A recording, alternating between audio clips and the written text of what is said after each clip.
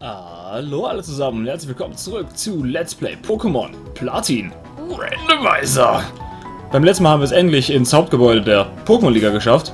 Wurde ja auch Zeit. Dann haben wir zwischendurch, zwischen den Folgen mal die äh, Freiheit genommen, tatsächlich unser Team ein bisschen aufzuleveln, da der äh, Champion nachher als höchstes Level, Level 62 Pokémon haben wird. Ich mir gedacht, setzen wir zumindest mal 10 Level drunter, dann sollte es immer noch fair genug sein. Ähm, in der Hoffnung, dass wir das mit 10 Leveln drunter überhaupt alles schaffen. Also in der Regel haben sie unsere Stats verbessert. Dadurch haben nicht allzu viele neue Sachen gelernt. Äh, Lan hat Reversal gelernt. Statt ähm, Fall Swipe wollten wir sowieso loswerden, weil es für die Top 4 nicht so nützlich ist. Äh, Nicholas hat nichts dazu gelernt. Hat aber halt jede Menge Stats dazu gekriegt. Drake hat auch nichts dazu gelernt. Ähm, Floppy hingegen hat tatsächlich Triplette gelernt. Das konnte er endlich. Wurde ja auch Zeit endlich mal eine äh, Attacke mit Same Time Attack Bonus für ihn. Das haben wir ihm dann statt Discharge beigebracht, weil Nicholas Discharge sowieso hat. Und bei Willi hat sich nichts geändert. Aber er hat eben neue Stats dazu gekriegt. Ja, so sieht unser Team aktuell aus. Und dann würde ich sagen, starten wir doch mal los. Oder werden erstmal noch mal Dexter aufgehalten. Okay, dann müssen wir halt erstmal noch Dexter dafür verprügeln, dass wir jetzt die Top 4 angreifen dürfen und er nicht. Du startest erstmal mit einem Floatzel. Okay. Das sollte nicht zu gefährlich sein. Du knirscherst uns. Okay. Dann Frenzy planten wir dich zurück. Mal schauen, was du davon hältst. Wahrscheinlich nichts allzu viel. Nicht allzu viel. Gut. Floatzel schon mal erledigt. Und das kommt jetzt als nächstes. Mesprit. Okay. Ja, Floatzel habe ich schon fast gedacht, das wäre ein ganz normales äh, Team für Generation 4. Ich glaube, der kann Floatzels haben, wenn er nicht den Wasserstarter bekommen hat. Ich bin mir nicht ganz sicher. Aber das Mesprit sollte definitiv nicht in das Team gehören. Und dann kriegt das direkt mal ein Signal Beam ab. Reicht das auch, um es direkt Code zu hauen? Ja, reicht es. Gute Arbeit, Floppy. Schaffst es, legendäre Pokémon zu vernichten. Äh, dann hast du das dein Maschumai als nächstes. Aber dafür haben wir Extra Sensory auf unserem Floppy drauf. Hier ein bisschen Extra Sensory. Was hältst du davon? Fall bitte einfach um, weil sonst machst du Floppy sehr viel Schaden mit deinen Kampfattacken. Aber du bist einfach umgefallen. Aha. Schlecht eingetauscht, Kollege. Schlecht eingetauscht. Staraptor. Äh, da lassen wir aber besser Nikolas ran. Der kann da, glaube ich, besser mit umgehen. Nein, der wird unsere, unsere physischen Angriff verringern. Was sollen wir nur tun? Am besten Spezialattacken einsetzen, was man mit Blitz das sowieso tun sollte. So in etwa. Ja, leider sind wir dadurch, dass wir für den Champ ein bisschen hochgelevelt haben, jetzt für äh, den armen Dexter leicht überlevelt. Aber auch nur leicht. Oh, Seppken ist daneben gegangen und die Hydropumpe ist auch daneben gegangen. Toller Kampf, wir äh, schmeißen ungenaue Attacken aufeinander und Milotic bufft sich. Und wir treffen mal wieder mit Zap Cannon einfach nicht. Vier Runden in Folge. Das waren jetzt 54% Chancen in Folge nicht ausgenutzt. Och, die fünfte hat doch tatsächlich getroffen. Das ist aber nett von dir, Nicholas. Und deshalb habe ich normalerweise ungenauen Attacken nicht allzu gerne. Aber Niklas lernt ja leider nichts Vernünftiges an Elektroattacken. Bis er eben Donner auf Level 71 lernt. Und auch das ist immer noch ungenau. Das ist eben zu ärgerlich, dass wir keine äh, TM gefunden haben, die ihm mehr bringt. Was noch ein Ludicolo? Da sollte Nikolas eigentlich auch ganz gut mit klarkommen können, hoffe ich. Sonst müssen wir eben schnell auf Floppy umwechseln. Dann hat er Signal Beam dafür. Wäre vielleicht sogar besser. Und auf Floppy rübergehen. Hm, schauen wir mal, wie viel Mega Drain jetzt macht. Oh, nicht so viel. Können wir auch drin bleiben. Nee, ist halt schon okay. Ludicolo eben noch in zwei Discharges K.O. Und sofort, wo das Safeguard ausgelaufen ist, hat das äh, paralysiert. gute Arbeit, Nikolas. Bringt zwar nichts mehr, weil er jetzt in dieser Runde sowieso K.O. ist und in der Runde jetzt nicht paralysiert war. Aber es war trotzdem gut. Ich bin überrascht, dass er keinen Full Restore für das Ludicolo übrig hatte.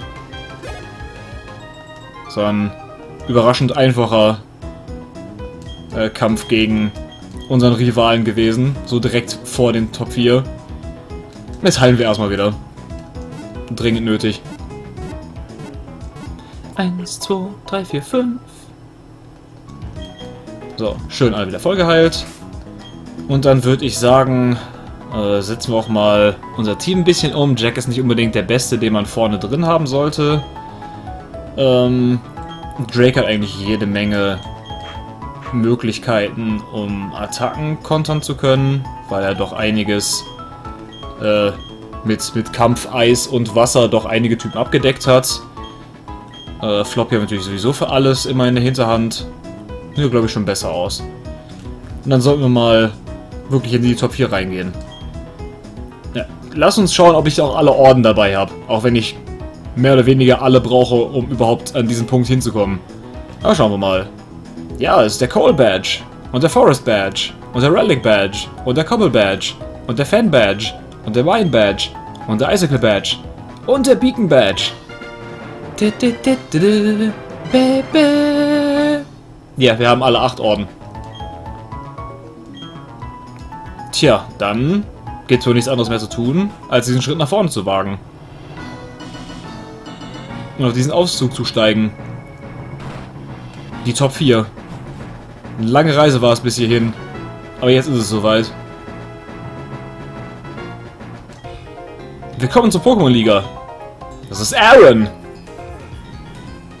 Okay. Du hast normalerweise Käfer-Pokémon. Okay. Und dann schauen wir mal, was du mit Käfer-Pokémon so anstellen kannst. Forest. Forest von den Top 4. Der sich ein Manager ist. Manager Forest. Hat ein Lavados. Okay. Dann bin ich extrem happy darüber, dass wir Drake nach vorne gepackt haben. Der kann dann nämlich erstmal Kaskade einsetzen.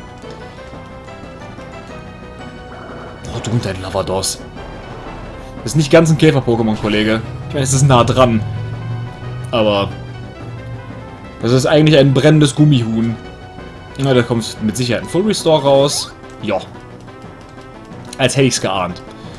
Dann kriegt er halt noch eine Kaskade ab. Kaskade! Ist auch nur um meine AP zu verschwenden, oder nicht? Nur weil jede einzelne Attacke 2 AP verbraucht. Weil Pressure. Okay, dann setzen wir Surfer ein. Aber Lavados wird diesen Angriff auf jeden Fall überleben, weil er Dur eingesetzt hat. Ganz was Tolles. Hey, Glückwunsch, du hast mit einem HP überlebt. Jetzt ich dich halt... Hauptsache, der nervt nicht. Ich hätte doch Eiszahn einfach einsetzen sollen. Ich hatte es kurz überlegt, einfach Eiszahn einzusetzen. Aber jetzt wechseln wir besser. Willi, rette uns! Rette uns vor diesem Giflor. Stachelspore. Oh, wie fies. Uns erstmal langsamer. Okay, dann kriegst du jetzt einen Flammenwurf ab. Die KI in diesem Spiel tatsächlich Pokémon auswechselt, das ist so frech. Als wäre diese Lavados schon in die ewigen Gummihuhn-Jagdgründe eingegangen. Jetzt haben wir erstmal diesen Gifler abgefackelt. Erfolgreich. So, was holst du jetzt dagegen raus? Ein Quagsire. Ja. Wenn du da mit deinem Warlord kommst, kommen wir mal mit unserem Jack. Schau, was du dann davon hältst. Warlord. Äh, dann... Wie, der ist Rasierblatt ausgewichen. Wie das? Der muss irgendeinen Item haben, das entweder seine Ausweichchance erhöht oder unsere Genauigkeit verringert. Muss ein Halt-Item haben, weil Rasierblatt hat 100 Genauigkeit oder nicht. Da muss ich jetzt gleich mal nachgucken. Jetzt bin ich nämlich verwirrt. Das Morlot ist schon mal weg. Okay, was holt sie als nächstes raus? Jetzt holt sie wieder das Lavados raus. Okay. Jetzt schaue ich mir aber erstmal wirklich die Moves an. Das Rasierblatt nicht 100... Ne, es ist nur 95. Wow. Ich glaube nicht, dass das Rasierblatt bis jetzt im gesamten LP einmal daneben gegangen ist. Äh, dann holen wir für das Lavados doch einfach... Ach, holen wir Drake wieder raus. Der hat die ganze Arbeit gemacht, jetzt darf auch die Erfahrungspunkte dafür kriegen. Wäre fast fies, ihm die nicht zu geben. Willkommen zurück, Lavados. Hier heißt ein Eiszahn. Hätte ich beim letzten Mal schon tun sollen. Hätte ich dem Giflo wenigstens ordentlich Schaden mitgemacht.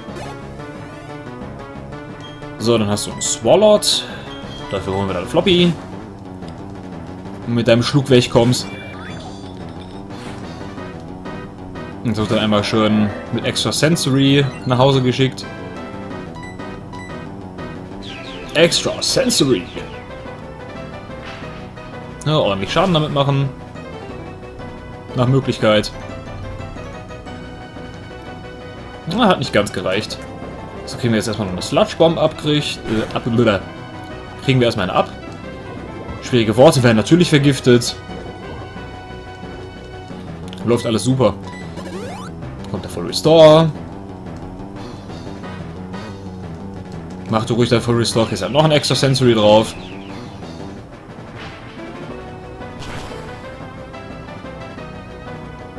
So, das würde ich wieder auf Rot runterbringen. Nächsten Zug wirst du aber nicht nochmal geheilt. Das hat es beim Lavados auch nicht gemacht. Ja. Dann kriegst du jetzt eine Triplette ab. Können wir uns die Animation dafür auch mal angucken. Zack. Und tschüss. Schlug weg.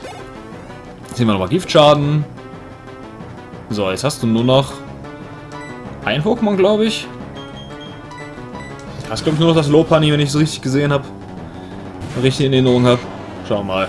Ja, hast du noch das Lopani. Okay. Dann Jack, du hast Brick Break. Oh, Bounce. Äh. Egal. Brick Break nicht trotzdem. Nehmen wir halt den Bounce-Schaden. Ja, das ist sehr effektiv. Hier ist ein Brick Break.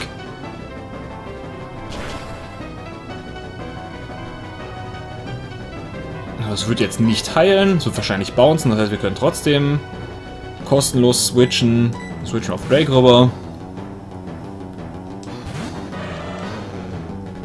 Ja, ist gebounced. Habe ich richtig geraten.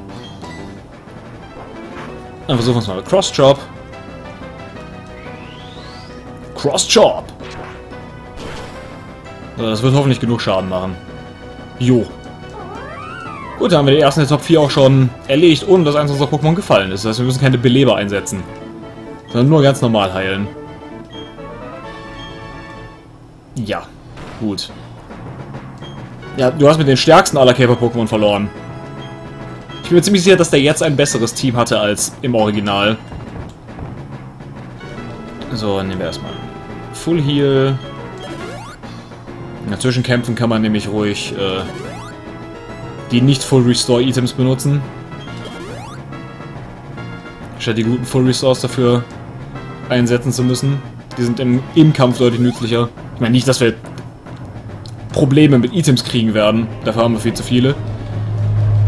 Ich meine, allein dadurch, dass wir zweimal Secret Ash haben, können wir das eigentlich gar nicht verlieren. Einmal alle unsere Pokémon, die umgefallen sind, mit vollen HP wiederbeleben. Das ist ziemlich fies. Dafür haben wir nicht ein einziges Sonderbonbon in unserer gesamten Reise gefunden. Nicht eins. Das will ich mal bemerkt haben kein einziges Sonderbonbon irgendwo gefunden. Ich muss das ganze Level noch Level 52 musste ich alles per Hand machen. Okay, dann haben wir auch schon den zweiten der Top 4. Ja, du bist Bertha. Okay. Das ist normalerweise Boden-Pokémon. Dann schauen wir mal, wie viele Boden-Pokémon du tatsächlich dabei hast, Bertha. Oder auch Pansy. Wie viele Boden-Pokémon wird Pansy haben? Wetten werden angenommen. Das ist ein Mantine. Das ist kein Boden-Pokémon. Das ist nämlich das Gegenteil von einem Boden-Pokémon. Es fliegt. Äh... Kämpfe ich das jetzt mit normalem und neutralen Schaden oder wechsle ich lieber auf Nicholas? Ich wechsle lieber auf Nicholas.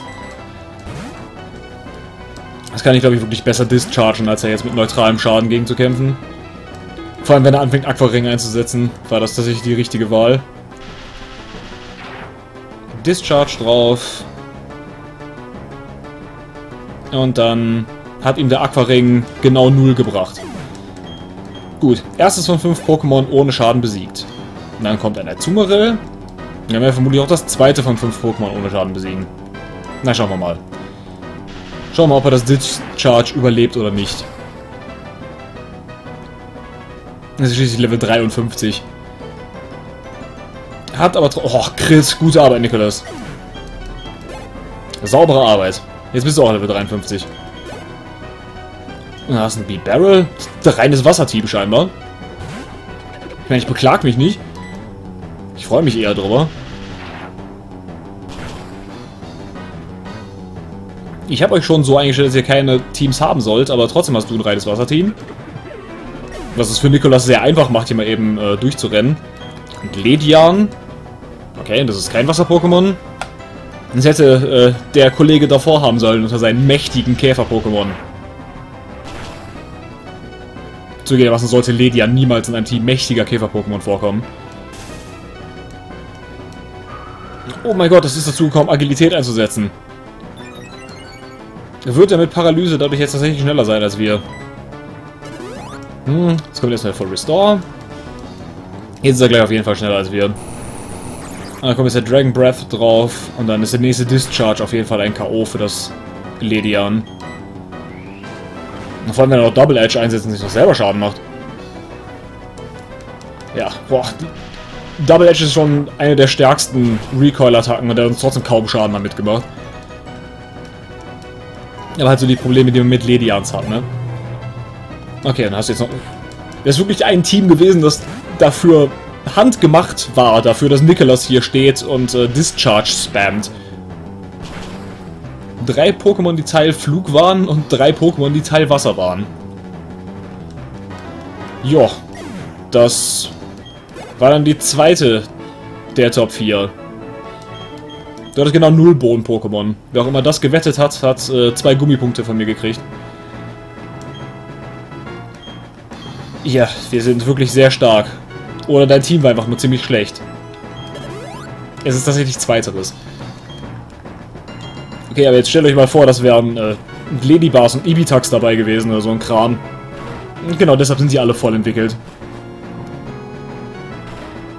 Hm, ob das wohl normalerweise ein Feuertyp Top 4 Typ sein könnte. Hm. Yo, Trainer! Yo! Ja, ja. Bla. Ja, der Typ ist super hype. Ja, er hat normalerweise Feuer-Pokémon. Anne. Wer hätte nur gedacht, dass Anne normalerweise Feuer-Pokémon hat? Manager Anne. Was hast du denn? Smokebug! Okay. Äh, dann können wir da tatsächlich, glaube ich, ganz gut mit Drake drin bleiben. Will nicht unbedingt auf Floppy rüber. Und natürlich hat Slushpump uns vergiftet. Warum sollte es das auch nicht tun? Dann schauen wir, wie viel Kaskade dagegen macht. Nicht so viel. Äh, dann wechseln wir doch lieber auf Floppy rüber. Ich wollte es eigentlich nicht getan haben. Floppy die Antwort für alles ist. Aber so wie das gerade vom Schaden her ausgesehen hat, ist es dringend nötig, dass wir einmal auf Floppy wechseln. So, Floppy Extra Sensory drauf. Dann war es auch mit diesem Smoke Mog. Tschüss, Smogmog. So, was hast du als nächstes? Was ist dein nächstes Feuer-Pokémon? Ein Staraptor. Das ist ein gutes Feuer-Pokémon. Außerdem nicht das erste Staraptor, das wir heute sehen. Nein, es wird wieder den physischen Angriff von meinem Nikolas, von meinem armen Blitzer verringern. Nein! Bloß nicht sowas. Was soll ich nur tun? Oh nein. Discharge drauf. Und ein Staraptor weniger. Ich könnte fast meinen, dass Staraptor nicht besonders gut ist. Hm. Dann hast du einen Swampert. Das ist allerdings was Gutes und was tatsächlich gefährlich ist. Also, Jack, mach bitte dieses Swampert weg. Das sind jetzt erstmal undappt. Äh, das ist auch noch sein Ass. Oh mein Gott, du bist gefährlich. Hast du eine negativ Prioritätsattacke eingesetzt oder bist du nur so langsam? Oh, ist das ein Crit? Ist das ein Crit? Das ist ein Crit! Jack! Jack holt die wichtigen Crits raus. Und dann hast du einen Rossana. Das Rossana kann sich Willi vornehmen.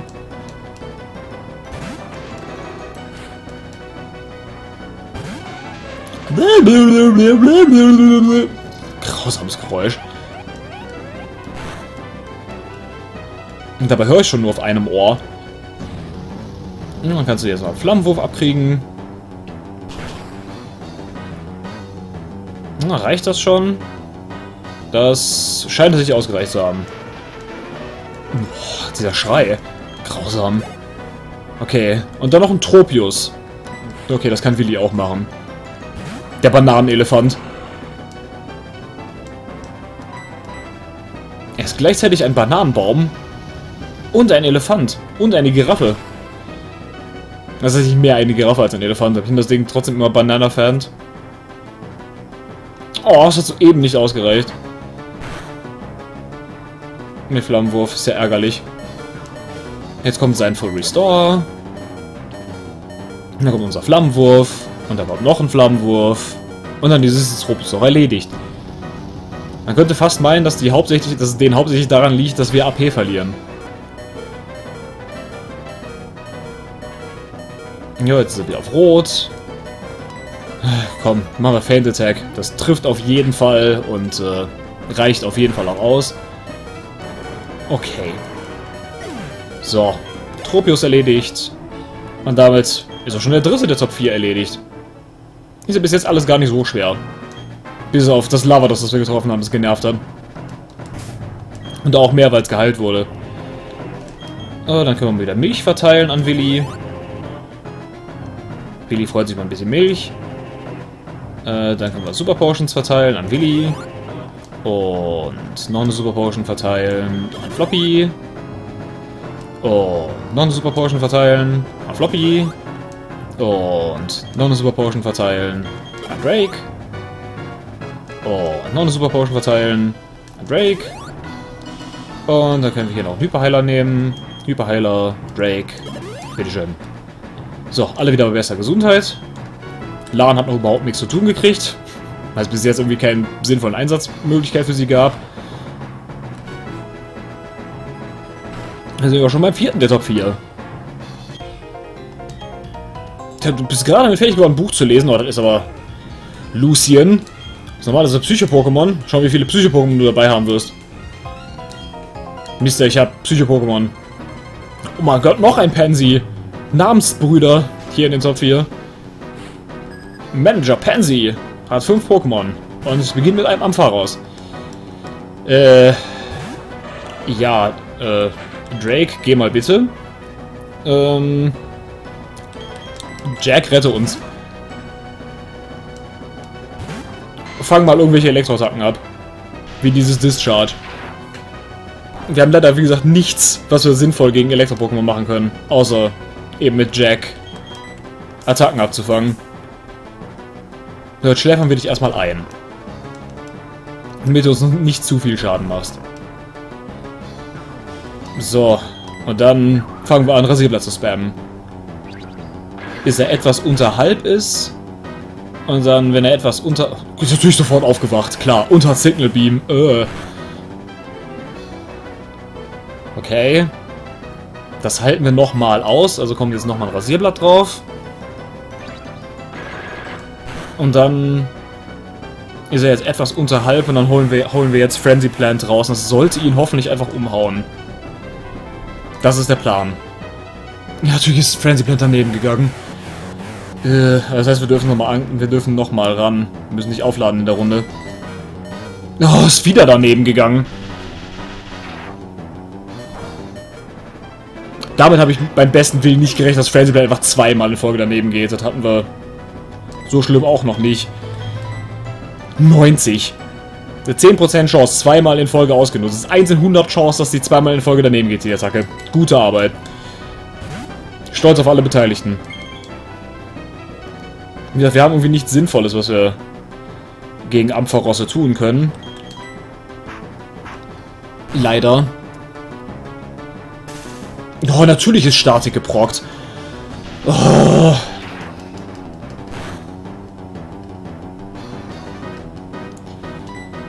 Nur weil keiner, Ele nur weil keiner Bodenattacken lernen kann.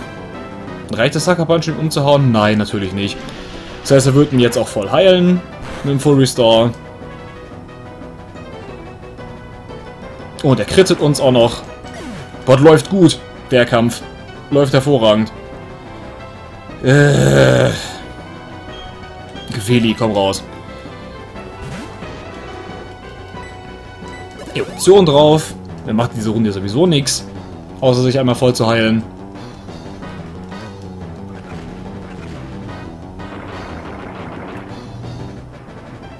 So, bitteschön, hast du einmal eine Eruption abgekriegt. Wie viel Schaden macht dir das denn? Hoffentlich mehr als genug. Mehr als genug. So. Nerviges Ampharos. Nur weil er krittet. Und eine 1 zu 100 Chance äh, gewinnt, nicht umgebracht zu werden. Okay, Nidoking. Ja, da können wir Drake vorausholen. Ich würde Nidoking. Können wir nicht ganz friedlich Kaskade drauf einsetzen. Kaskade! Mehr Earth Power habe ich nicht so viel Angst vor. Auch wenn das hier Ass ist. Hat 70 Schaden gemacht. Solange er im nächsten Zug nicht krittet, überleben wir das auch nochmal. Selbst wenn das ein äh, niedriger Wurf war, was Schaden anging. Okay, du hast noch eine Zitrusbeere. Ja, nochmal Earth Power ab. Aber die Kaskade sollte ihn dann trotzdem, trotz Zitrusbeere, einfach umhauen. Ja, hat diesmal 75 Schaden gemacht. Haben es aber trotzdem locker überlebt. Da sind zwei von fünf Pokémon niedergeprügelt. Oh, natürlich hat Poison Point uns auch vergiftet. Oh, der Kampf läuft wirklich hervorragend. Absolut fantastisch. Und was hast du als nächstes? Indem wir erstmal noch Giftschaden kriegen. Und uns fast umbringt. Als nächstes hast du einen Kangama. Müssen wir Drake für drin lassen. Das ist der einzige, den wir noch haben, der Kampfattacken hat. Dann müssen wir tatsächlich mal auf den Full Restore zurückgreifen. Wir haben nur 50 davon.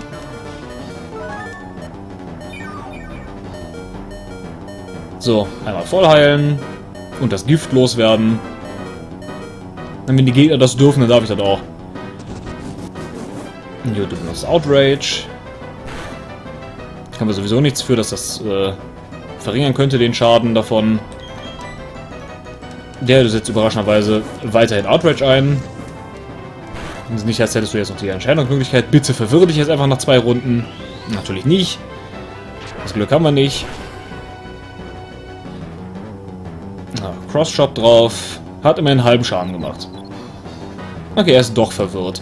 Ich heile trotzdem. Nur für den Fall. Äh, setzen wir einen unserer Max Potions ein. Full Restore brauchen wir gerade nicht.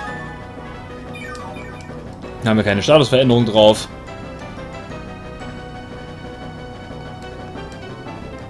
So, du bist verwirrt. Schlag dich bitte einfach selber. Nö, natürlich nicht. Natürlich kriegst du einfach Outrage durch. Klar. Warum auch nicht? Warum auch nicht?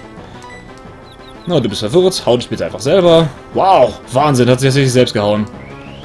Haben wir dieses Kagama aus der Welt geschafft. Okay, das war Nummer 3 von 5, glaube ich. Und was kommt als nächstes? Mighty Yenna. Na gut, da können wir jetzt für drin bleiben. Mighty Yenna. Natürlich erstmal unseren Angriff runter. Embargo, wir dürfen kein Items mehr benutzen. Und ist sogar clever für ihn, das einzusetzen. Jetzt kriegst du erstmal noch einen Cross-Chop ab. Okay, das macht nicht genug Schaden. Dann gehen wir eben wieder auf Kaskade über.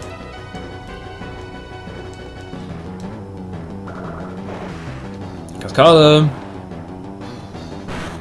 Ah, bringt dich das ganz runter oder wirst du jetzt voll geheilt? Ah, das hatte ich ganz runtergebracht. Vermutlich dank Crit. Aber es hat gereicht. Dann hast du noch einen Makago. Da sollten wir auch schneller für sein. Ja, wir sind schneller als der Makago. Wer hätte es gedacht? Schneller als die Schnecke da vorne. Na, vierfache Effektivität. Hat aber trotzdem nicht ausgereicht. Kriegen wir noch einen Rockslide ab. Das wird dann mit Sicherheit geheilt. Wird er auch. Überraschend.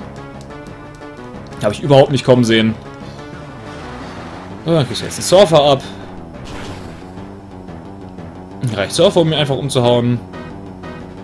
Jo. Halt höhere physische Verteidigung als Spezialverteidigung, schätze ich.